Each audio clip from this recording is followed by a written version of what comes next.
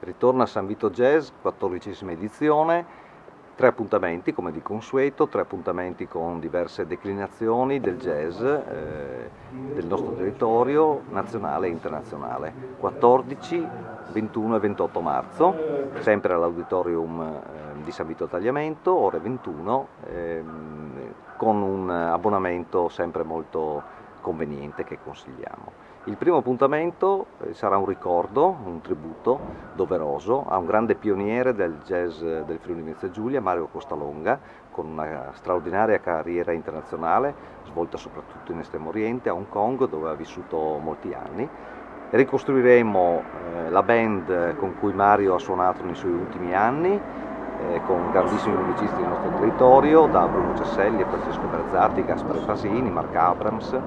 e, e suoneremo la musica eh, che Mario amava e di cui era un grandissimo maestro, per cui l'hard bop degli anni 60, dei primi anni 70. È un appuntamento imperdibile per ricordare, come è giusto, chi ha dato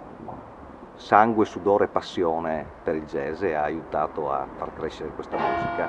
Il secondo appuntamento eh, sarà con Mauro Tolini, è un progetto molto particolare, si chiama Musiche per conchiglie è un progetto che vuole essere un grido d'allarme, un grido di, di dolore anche per le condizioni del nostro amato pianeta che soffre per l'inquinamento, in particolare per il mare. Per cui si tratta di un progetto che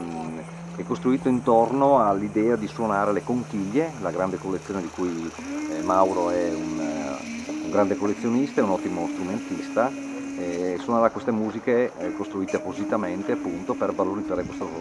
particolare oggetto che diventa in questo caso uno strumento con una formazione originale messa appunto riunita per l'occasione per San Vito Jazz e suoneranno le musiche appunto da Seychelles, questo disco eh, molto bello, molto forte, molto intenso che è stato pubblicato l'anno scorso, un appuntamento eh, inedito, appunto una formazione originale riunita per l'occasione.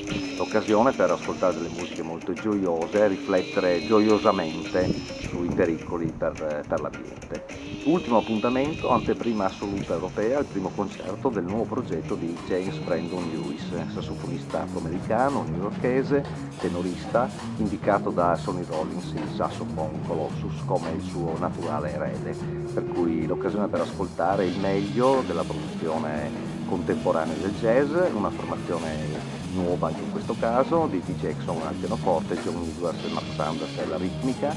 e, appunto concerto inedito e nuovo, anteprima assoluto europeo, presenterà James Brandon Lewis il nuovo